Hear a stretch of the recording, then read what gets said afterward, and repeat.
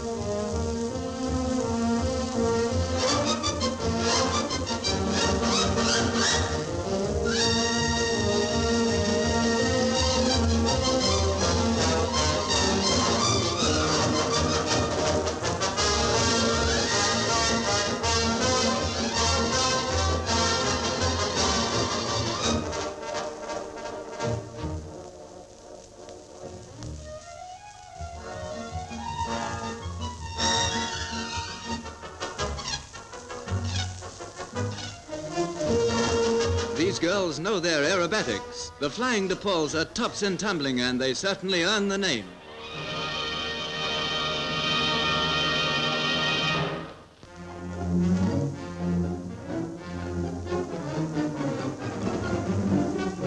When the hydroelectric scheme of Kaitawa is completed, the waters of Waikaremoana will flow down through these pipes to drive the turbines and generators in the powerhouse below. Nearby, an engineering shop is transforming sheets of metal into the huge sections of piping that will carry the water from the lake to the powerhouse.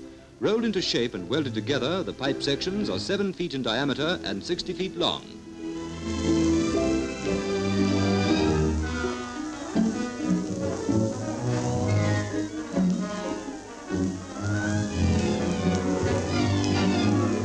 When the welding job is finished, the section is ready for transport to the powerhouse. This is a tricky job. It calls for strength and skill and patience. That pipe section weighs 18 and a half tons. It's loaded onto a trailer specially built for the job, and the hauling is done by a bulldozer.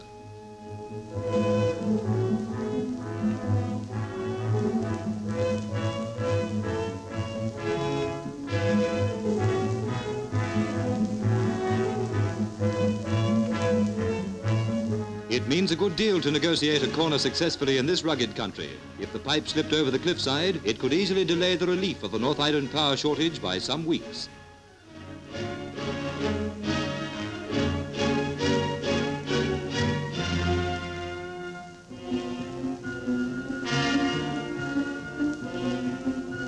With the pipe section in position, yet another step is made towards ending the power shortage. The task of completely harnessing the waters of Lake Waikaremoana is well on the way, and work on the Kaitawa part of the scheme is almost finished. The war delayed construction at Kaitawa, which has been going on for four years, but within three months it will be operating and producing 32,000 kilowatts.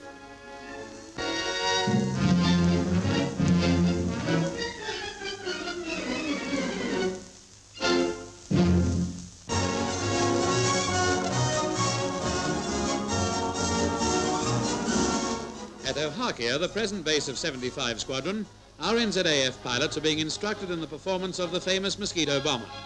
This much commended aircraft will soon be familiar in New Zealand. The RNZAF has 80 Mosquitoes on order from England, and the first group are already at Ohakea. Pilots are having conversion courses, and the ground crews work on the aircraft's laminated wood fuselage and twin Rolls-Royce Merlin engines. Daily inspection and maintenance is carried out with wartime efficiency.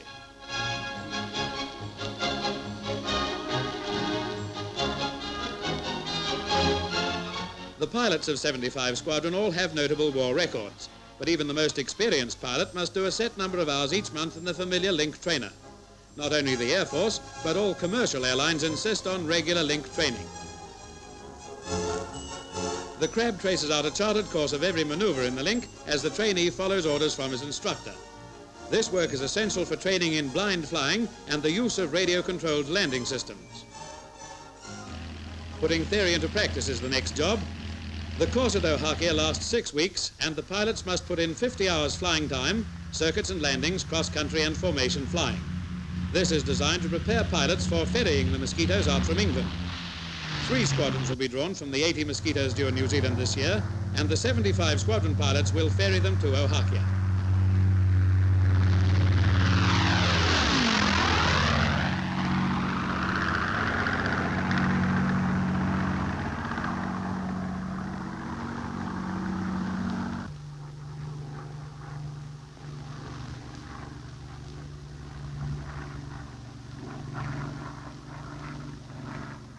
Back in class, the pilots are lectured on the route from England by Squadron Leader Watson, the CO of 75 Squadron. When their conversion course is over, they'll be flown to England to do the job. Ferrying will be routine work. The Mosquito is very dependable and has a range of 1,500 miles. Its four wing tanks hold a total of 400 gallons of high-octane fuel. After a final checkover, one of the squadron pilots is going up to test his aircraft in low flying and aerobatics.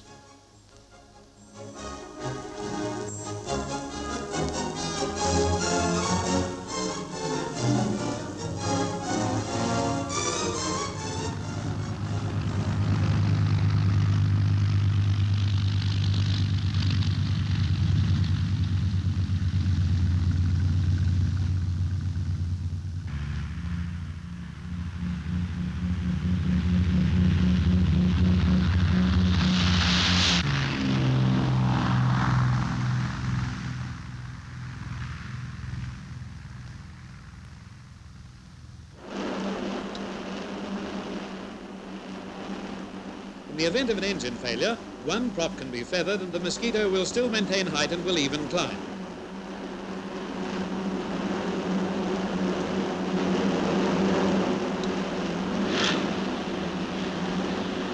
Down over Foxton Beach at 30 feet, the Mosquito has a top speed of well over 400 miles an hour and cruises at over 300.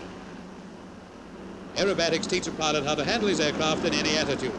The barrel roll is a standard maneuver.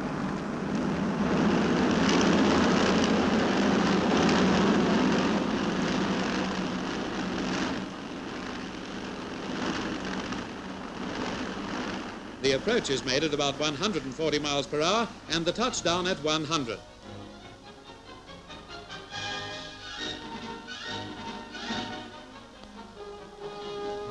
Back at Ohakea, as an all-purpose aircraft, the Mosquito is still in world class. 75 Squadron will carry on its great war record by becoming the first bomber squadron in New Zealand's new defence forces.